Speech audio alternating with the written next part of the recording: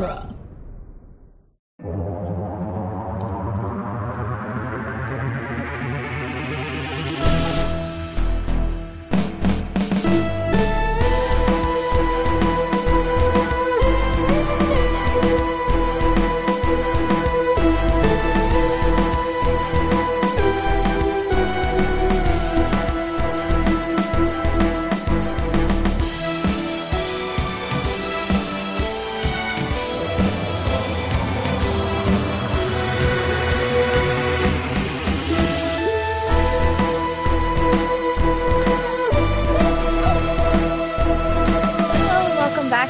Doctor's Companion Presents Doctor Who The Long Way Round, the weekly podcast where we review and discuss every episode of Doctor Who, one doctor at a time. I'm Cassandra Fredrickson, I'm Nick Jimenez. And I'm Scott Corelli. and today on the show we'll be discussing Silver Nemesis, the seventh Doctor's seventh story. Woo. Uh, this is the penultimate uh, serial of uh, season 25. And uh, it is written by Kevin Clarke and directed by uh, Chris Clough. Uh, Chris Clough, who directed um, last season, uh, directed. What were the two episodes that he did? Uh, Dragonfire and Delta and the Bannermen. Nice. Whoa! Yeah. Um and so uh he uh he directed this alongside the Happiness Patrol. So he also directed that. Um cuz the the whole the whole concept of um production uh during this era of the show was a uh one studio one entirely studio production and one entirely location production and it- we they used the same director for both um, and so last season for that was uh, Delta and the Bannermen was the location uh, story, and Dragonfire was his studio story. And then this season, uh, the Happiness Patrol was his studio story, and this Silver Nemesis was his location story. Uh, so uh, yeah, so then um, uh, the writer Kevin Clarke, this is his only Doctor Who story, and he had no interest in writing for Doctor Who. So of course, John Nathan Turner, uh, uh, being the uh, the always wise producer of Doctor Who, uh, gave him the 25th anniversary episode. um, this uh, this episode, part one of Silver Nemesis, was airing on November 23rd, 1988, which was the exact uh, 25th anniversary. That's why it's Silver Nemesis because it's the silver anniversary. And that's why it's the that's why it's the Cybermen because silver Sure. and silver and silver. Why Um, not? yeah, and just like a silver anniversary, uh, silver anniversary's only uh, uh, kryptonite is uh, a gold uh, anniversary. I guess I don't know. Um, anyway, The Daleks, uh, the Daleks are gold. yeah, that's true. Who's Don't the the most- Daleks defeat the Cybermen? That's Who's the thing. the most? Yeah. Yeah, you are better at dying. Dying. Yeah, right. exactly. Yeah, it, re- it So- really. You know, you can. You know, a line is iconic when you can even remember like the cadence of it. So, so Kevin Clarke had absolutely no interest in writing Doctor Who or any science fiction ever. Um, he he didn't uh, he didn't much care for that particular genre. He thought it was beneath him. Uh, but uh, he wasn't getting any work, and uh, Andrew Cartmel, the uh, uh, story editor at the time, um, was looking for fresh blood. And you know, why not reach out to someone who has no interest in writing for the show that you're running? Sure. Um, so, uh, so he uh, hired someone who never wanted to write for Doctor Who uh, to write for Doctor Who, uh, Mm-hmm. begrudgingly because he was out of work. Um, really, just bang up job uh, across the board. Everybody, um, let's. I really wish more Yeah. shows would just hire people who Re- don't want to write for the Yeah, show. re- real Amanda Waller level like room gathering. well, it, I mean, it's not just that, but it's just like it's it's it's just uh, I why get somebody who likes the show to write the 25th anniversary episode. I don't know, Cr- crazy. I know, sounds nuts, but just an idea. Um, Andrew Cartmel. Uh, mostly I'm just frustrated with this particular thing. I actually like Andrew Cartmel as a as a script editor in general. sure, sure. I'm just really mad about this. Uh, this is this was a stupid decision.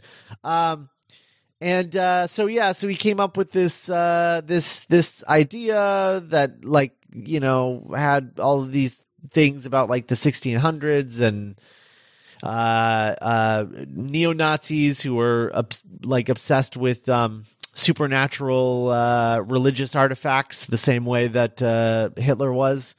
And uh, yeah, so he like created this thing, and then John Nathan Turner was like, "Well, it's a silver anniversary, so you know we should also have the Cybermen."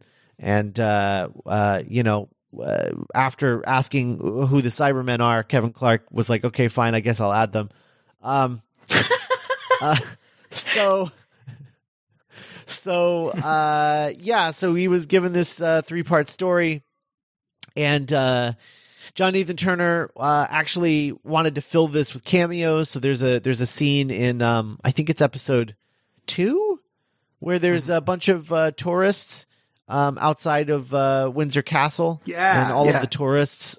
Yeah, all the tourists are, are are people who have worked on Doctor Who in the past, um, including uh, uh, uh, Brigadier. What? Um, he was. Yeah, he's in. He's in the group. Really? He's not playing Brigadier. I don't think. I think he's just playing a tourist. Yeah. But he's there. Um, yeah. So they uh, they wanted to do that, and then the other thing that John Nathan Turner wanted to do uh, was get uh, Prince Edward, Earl of Wessex, to be uh, have a cameo as himself uh, during the uh, Windsor Castle uh, segment because Prince Edward was like really into the entertainment industry and he was working as a production assistant for Andrew Lloyd Webber at the time.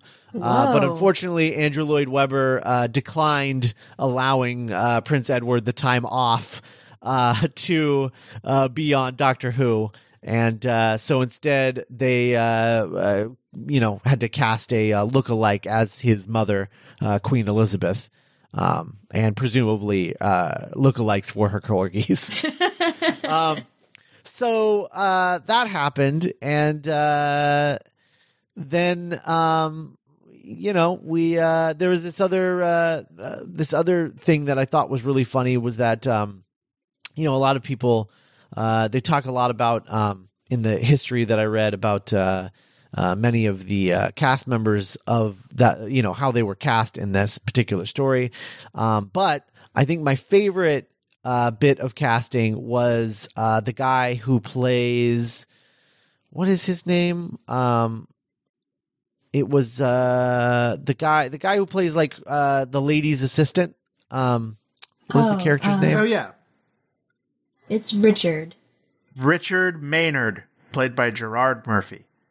so uh, the only reason that he agreed to be on the show, he actually he read the script, didn't understand any of it, thought it was extremely confusing, didn't really know what kind of part he was playing, uh, really just trusted in the director.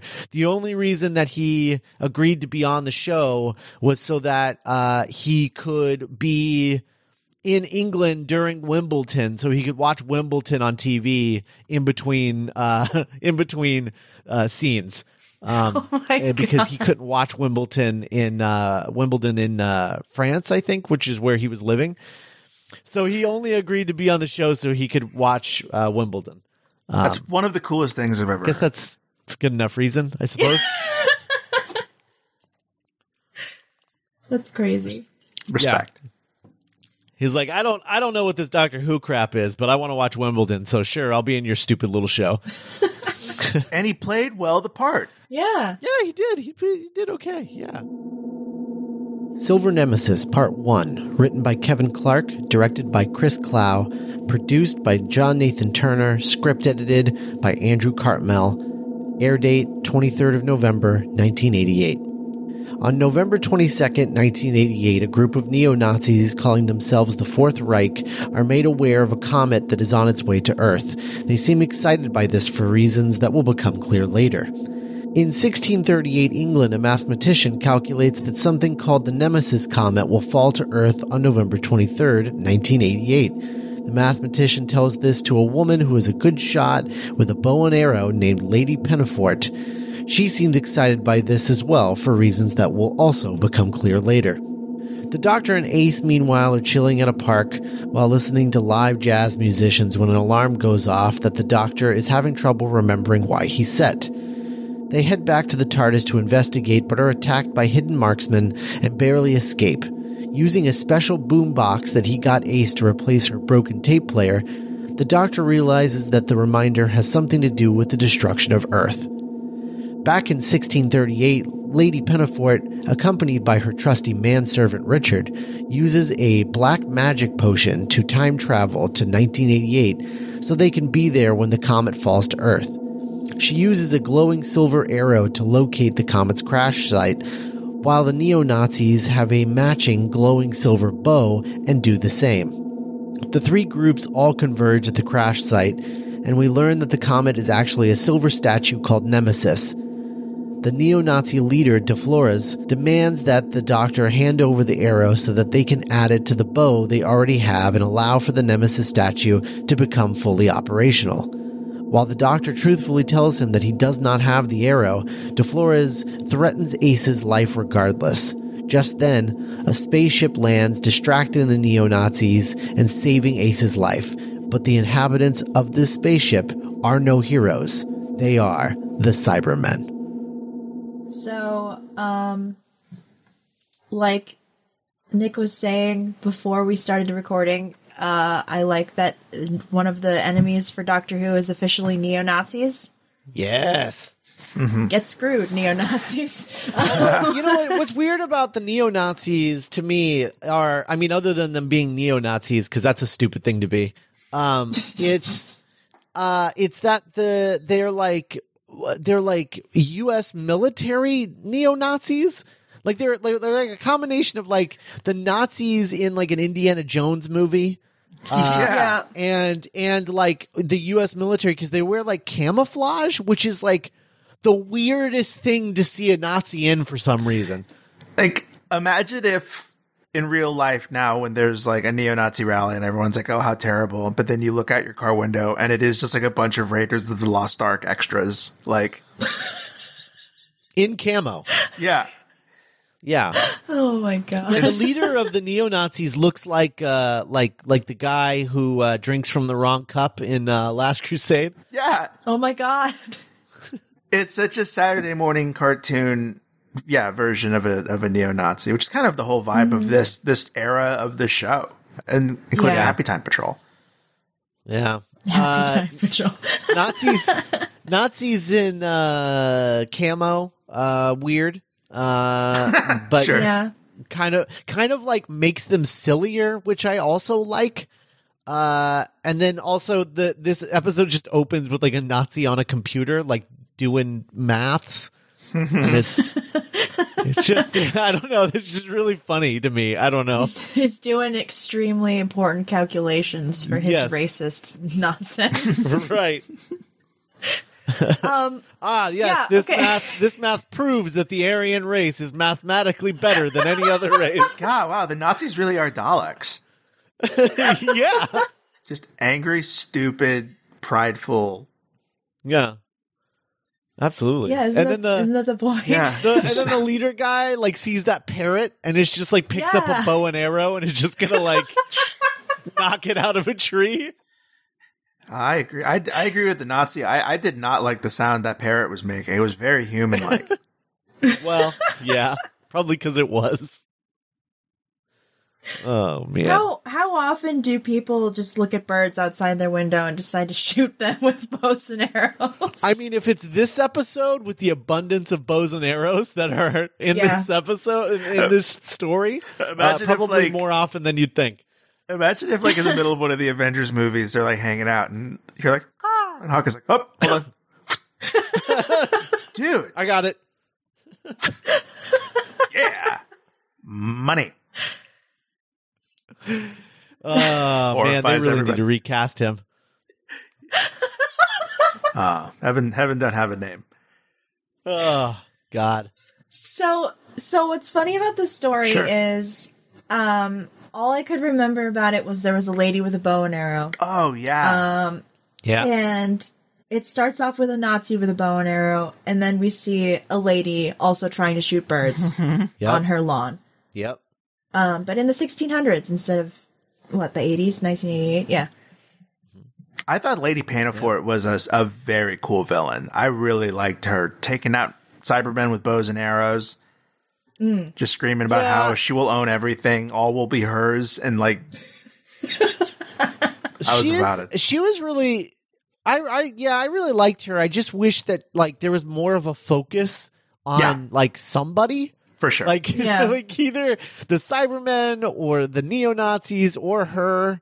One or like a- any of them. Like I don't know why we needed like four groups of people in this story, uh, but and and you know what's funny is we have four groups of people in this story, and you'd think, wow, four groups of people, and there's three episodes. This must like go like lightning. This episode, but then episode two is like completely unnecessary. Like we could really cut this story down to two parts, and you would lose nothing. yeah. And that's All of- really saying something uh, in terms of how many characters are in this.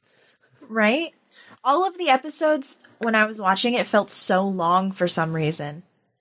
Like they felt like 45 minute long episodes, but they weren't. They were like 25 minutes. Yeah. I, I, I'm starting to sense this this new this classic Who trope where things sort of feel almost like kaleidoscopic, or like there's just a series of things stapled together, and like a patchwork, and you're like, well, I like this part, or I like that part, but then you kind of feel how disjointed it can be. Yeah. Yeah. Um, also, uh, the Doctor and Ace are really into jazz in this episode. and oh. did Damien Chazelle direct this or what? Man, I was because we were so I you know we were so uncomfortable and sad last week about the way Six treats Peri, and so to just the scenes of like Doctor and Ace just like hanging out in the garden and like listening to jazz and just like having chilling out were just really enjoyable for me. Oh yeah, absolutely. Uh, man, that's good. I love them together. They have Yeah. such good chemistry. They she wa- do. They're really, really good. She got her little uh, she got her cassette signed. yeah. She did. Um, man, when they're going back to the when they're going back to the TARDIS from the from the their little jazz picnic, uh, and uh, they start getting shot at, and there's that there's that one moment where the neo Nazis uh, shoot them while they're going over this little bridge over a stream, and then they just both Yeah. dive into the stream. I I burst out laughing. I don't know what was so funny about it, but I just thought it was the funniest. It was just yeah. There was something. I feel like the timing was just slightly off. Like they jumped into the water before the shots happened or something. um, so it just looked. It just looked ridiculous. Like they were trying to like uh zag instead of zig or something. I don't know. Like, Yeah. Let's pretend Well, we're gonna it's- go across this bridge and then just dive into the water. It was super like synchronized swimming. Yes. Like it's really Yeah. You know, you, you forget that like student teacher tropes can like be endearing and not creepy.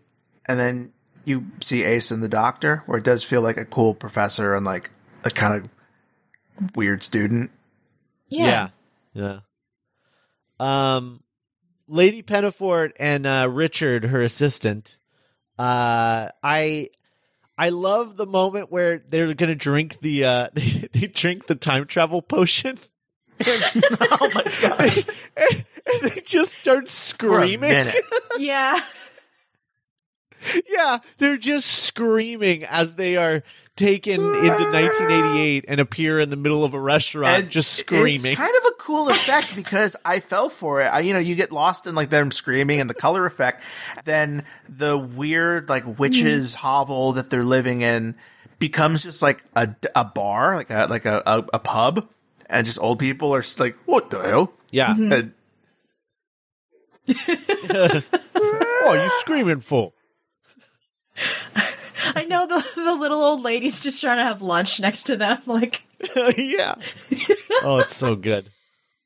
I I honestly I really love part 1 of this. Like part 1 of this is so good. And I was like, "Oh man, this is going to be a great Yeah. episode or a great story." And then parts 2 and 3 It's are like womp womp. Um, basically the Cybermen show up and it's just I will like say womp though, womp. like when the when when the Cybermen arrive, I I don't know. This is actually kind of one of my my my rebel Cybermen stories. Yeah, because they're not go. trying to do the same thing. Yeah, yeah, just something about their design and their voice and just yeah, they're they're the way they're implemented. They're not like this looming terror. They're kind of like cool Flash Gordon stormtroopers. Mm-hmm. They look like they look like Captain EO characters. They're like yeah, the cool Chuck E. Cheese eighties. Yeah, that's true. That is what it looks like.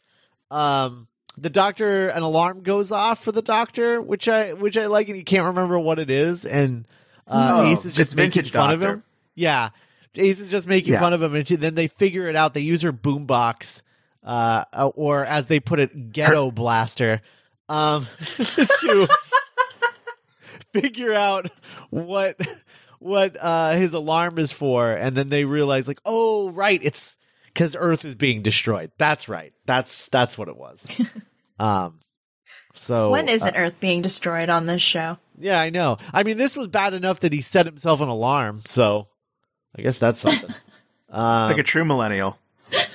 yeah What the hell? yeah i like being in windsor castle and and seeing uh queen elizabeth and her corgis running around Yeah. Yeah.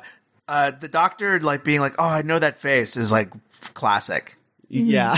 And then they're like behind the corner, and he's like, Well, why didn't you tell me? The Queen will know what to do. Look like a fool. uh, yeah. So the Cybermen show up at the end of this, Uh-huh. and Ace honestly, thinks like, that they're Ace thinks that they're her, her friends. Yeah, oh my hero, they saved my life because they she was gonna get shot at by Nazis. Yeah. They saved my life. She's uh I really like how anti Nazi uh anti Nazi Ace is. oh hell yeah, she's the original punk. Yeah. Oh, it's great. Yeah. She's pretty dope. I Yeah. love her jacket. I love her tape deck. Yeah. I love her backpack full of bombs. Yeah. who doesn't? The Cybermen, that's who. Yeah, Ace is the best. The the end of this episode is literally just the Cybermen walking out of their ship. Silver Nemesis Part 2, written by Kevin Clarke, directed by Chris Clough, produced by John Nathan Turner, script edited by Andrew Cartmel, air date 30th of November 1988. The neo Nazis open fire on the Cybermen to no avail, but when Lady Peinforte enters the fray with gold tipped arrows, the Cybermen start to go down. In the confusion, Ace and the Doctor manage to obtain the silver bow and escape to the TARDIS. Going back to 1638, the Doctor surmises that the mathematician that first calculated the date of the Nemesis landing on Earth must have gotten help from the Cybermen, hence their appearance in the present. Meanwhile, the neo Nazis strike a deal with the Cybermen to work together on gaining control of the Nemesis. But the Cybermen are lying and plan on killing the neo Nazis when it's all said and done. Lady Peinforte and Richard gain access to Nemesis, but are taken captive by the neo Nazis. The Cybermen arrive to see Nemesis become operational, but while they now have control of the silver arrows, they realize that the case containing the silver bow is now empty. The doctor is convinced that more than one cyber ship is nearby, and upon scanning for a fleet, the doctor finds thousands of hidden cyber ships surrounding the planet. The cyber leader's like, "Oh, it's the doctor." Blah. I like I like the Cyberman voices, but whenever a Cyberman dies, it's always the same sound effect, and it was very jarring to hear over and over again. Yeah, yeah. that's true. And just kind of the Cyberman wailing in pain just seemed uncharacteristic to me. Yeah, I don't know. It's like I a feel like they holdover always do that in, uh, yeah, in like Classic Who. I feel like they always do that. Okay, yeah, that could totally just be. it's be New Who my- that they don't really, th- yeah, they don't really scream much in New Who because they don't have emotions. But Mhm. yeah. and, that, and that's my version because I'm a, I'm a I'm a baby. No, nobody's shoving gold in their chest, so they don't have reason to you. uh, What is has that ever Yeah. come back from Classic Who? Like their gold allergy or whatever? no, I don't think so. Yeah. I miss that. It's really silly. It is really silly. I I mean, I just love like she's just like Lady Peinforte is just like firing gold tip arrows at the Cybermen and taking them out. Um, It's pretty great. dope. I like it. She's so confident this whole episode, and I was just I was into it. Yeah. There's only a few things that I remember from this episode because this episode is incredibly forgettable. Like, I, if you told me to to recount the plot of this episode, I would not be able to do that. Um, but Well, I got some bad news for you. Uh, you got to recount the plot. I know. Good thing there's a Wikipedia. Um, but uh, uh, uh, all that I know is like I li- there's that scene where the Nazis are making a deal with the Cybermen, and uh, one of the Nazis like calls calls women barely human, and I'm like Jesus, this is. Wow, I don't remember that part of the Nazis. I I, I know about the race stuff, but uh, I didn't know about the women stuff. That's uh, I Well, mean, I it's not mean- surp- it's not surprising. Oh, that's just that guy's personal opinion. yeah. oh, okay. They're all dudes, man. the other the other Nazi says that, and the other Nazis are like, "Whoa, whoa, hey, Oh, dude, no. Hey, guy.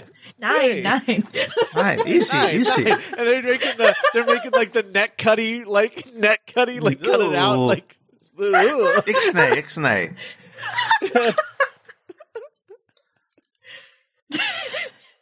No, do it on the Riefenstahl. We think she's cool. Oh man. Um, She's a witch. uh, yeah. And then, like, and then we get the uh, the episode ends with the revelation that there are invisible Cybermen warships surrounding the planet, Thousands. thousands, which what is uh, pretty happens cool, I guess. this episode? I, Nothing. that's there's what I'm saying. I don't know. there's llamas. Okay, okay. So they made like the funniest Shakespeare joke, and I laughed for like five minutes because I'm a nerd. Um, because Oh, please. he he's scared of the llamas because they sound like bears, and she's just like, "Well, the bear won't pursue us. That only happens in theater." And I had to pause it and laugh. oh my god! I wanted to Exit pursued a highlight a moment. Yeah, Yeah. There, there's a moment where uh, they're walking and they're getting ready for like the final showdown or what have you, and Ace like takes aside the professor and is like, "Hey, like I'm really scared. Like I know I usually roll pretty hard and I have a bag full of bombs, but like I'm scared." And the doctor's like, "You can go back to the TARDIS and wait if you want." And Ace is like, "No, doctor. No." She calls him doctor, and I was just like, "Oh, that's I don't know." I was like, "That was a really cool companion moment." Mm. Mm-hmm. oh yeah. Ace blows tale. up a ship. Yeah.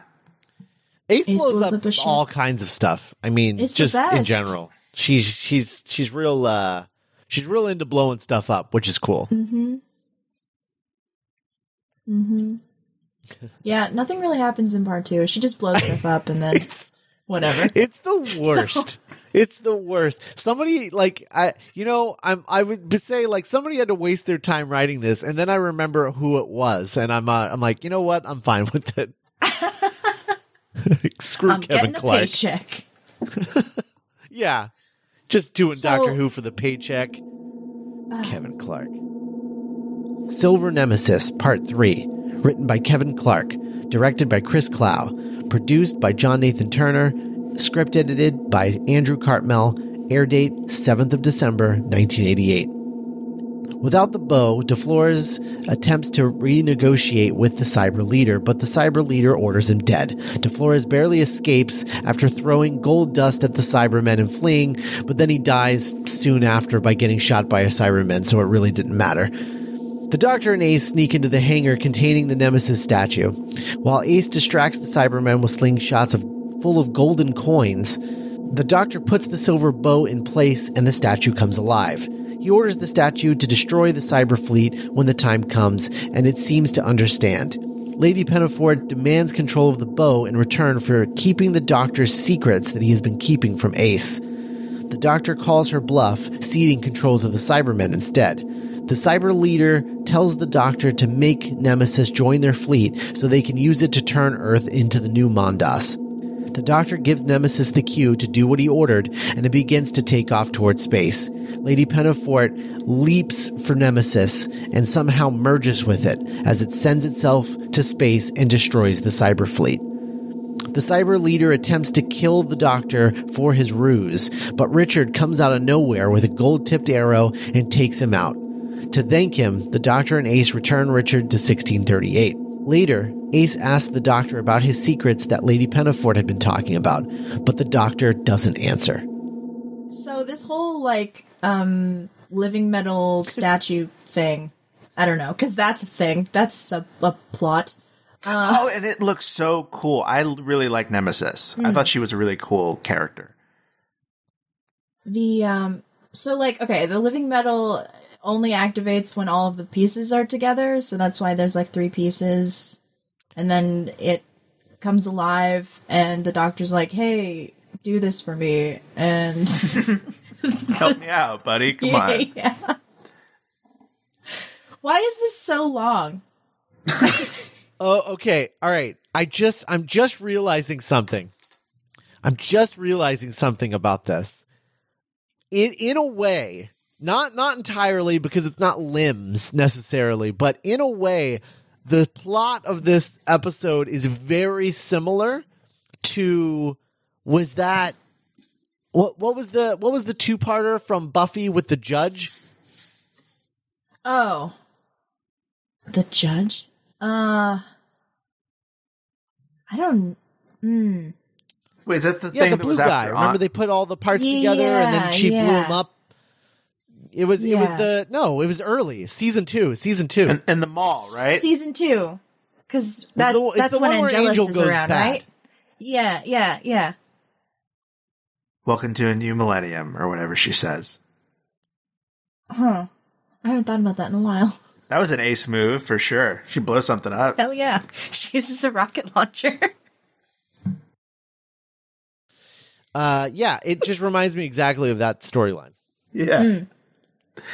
Oh man. But that's like way better than this. Well, sure. I mean, Well- that's, that's season two Buffy the Vampire Slayer cast. Yeah, I mean it improved upon it, but I'm saying it's the same. It's the same thing. It's uh, Yeah. a- Little- a- an all powerful thing that everybody wants, and they all have parts of that parts of it.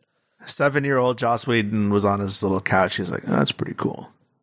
It'd be cooler if it was a demon, though. Being, Seven years old. You know- he was like Buffy came out like ten years oh, after that's this. true. Yeah, so sixteen year old Joss Whedon.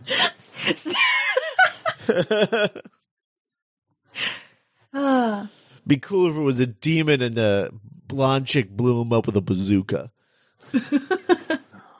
Someday. I do. Um, the thing that I like about this era of the show in general is the um, all the like do- heavy sort of Gallifrey and like Doctor lore. Oh yeah, definitely.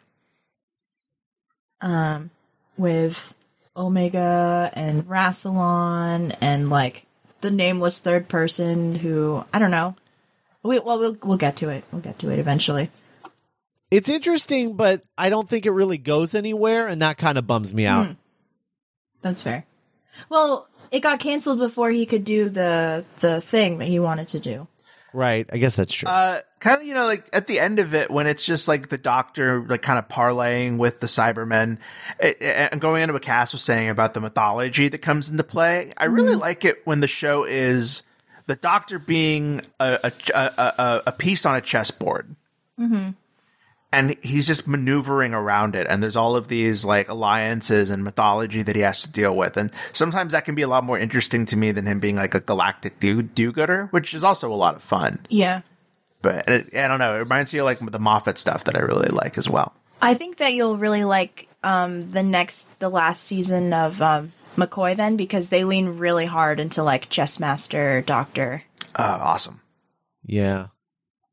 I uh I one other thing that I forgot to mention during the uh the uh uh production stuff um which was I hated everything that I heard about Kevin Clarke, but the thing that I hated the most about Kevin Oh, Clarke uh was was that uh, he actually, when he pitched this story, he actually pitched it as the story that would reveal that the Doctor uh, isn't an isn't just an alien. He is actually a god who walks among mortals, uh, and uh, has has uh let me let me see if I can find the thing. It was uh it was the worst thing. So let's see here. Um uh, Clarke's interest in making uh, the the question of Doctor's identity is a key part of his serial. At one point, Clarke wanted to reveal that the Doctor was God, or at least a godlike figure who walked amongst mortals and possessed tremendous powers, but sometimes let events run away from him and uh, Nathan Turner uh, was basically just like that's that's stupid, and also I don't want like religion to be a part of this show because that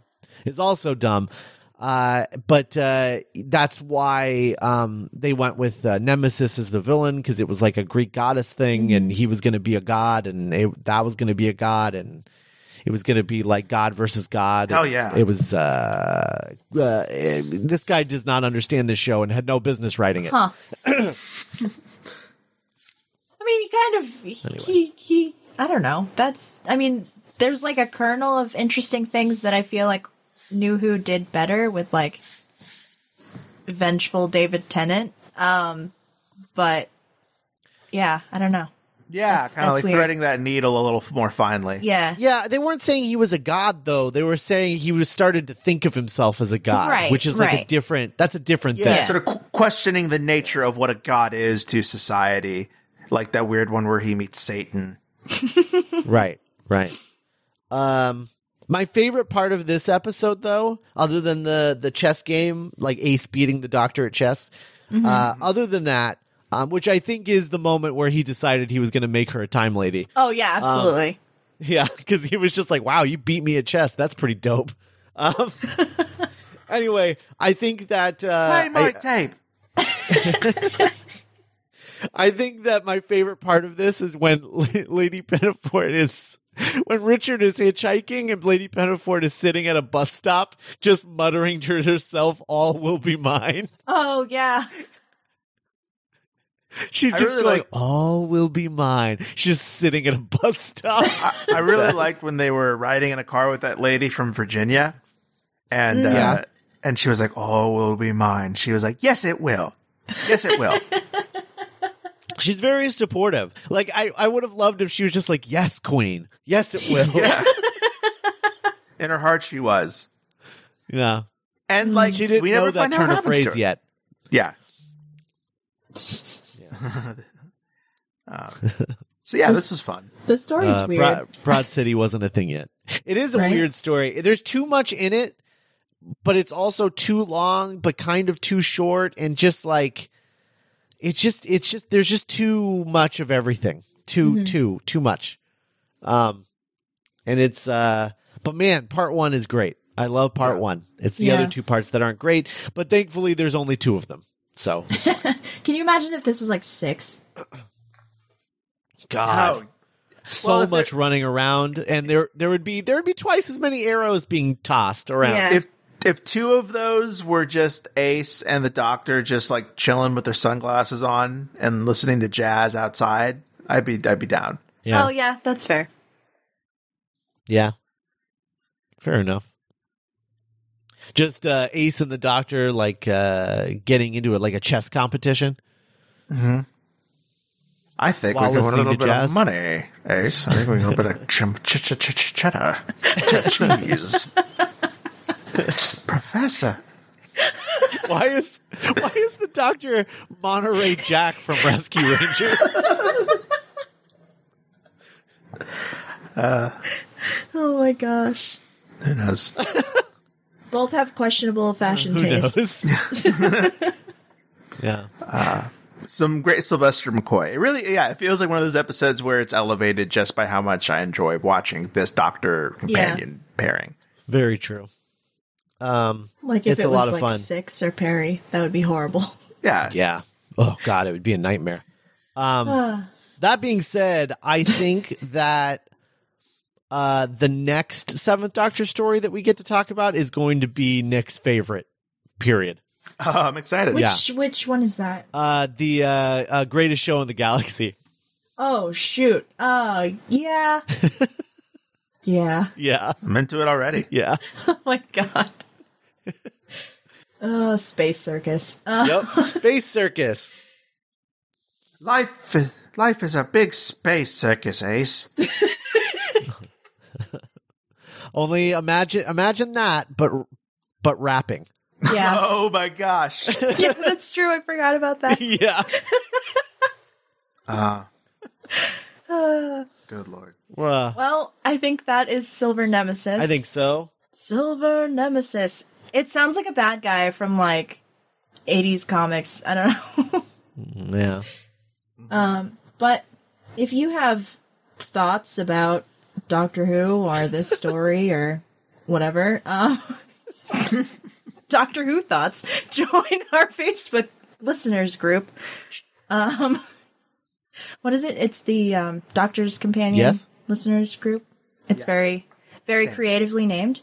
Um, you can support us on Patreon if you haven't yet. Um, go to duelinggenre.com slash support.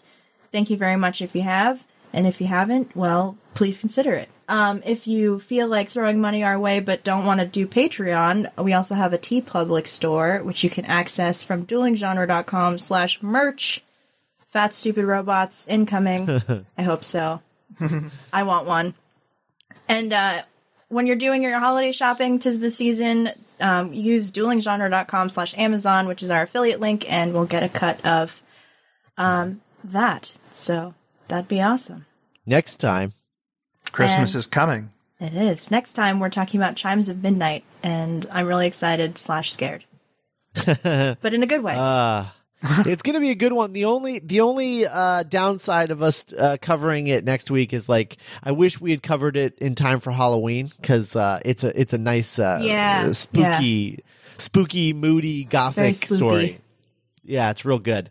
So uh, anyway, chimes of midnight. If you guys haven't been following along with our Eighth Doctor stories, I highly recommend uh, listening along for chimes of midnight because it is very very good. So uh, check that one out if you haven't listened to any of them yet. And uh, we'll talk to you next week with that one. Bye, everybody.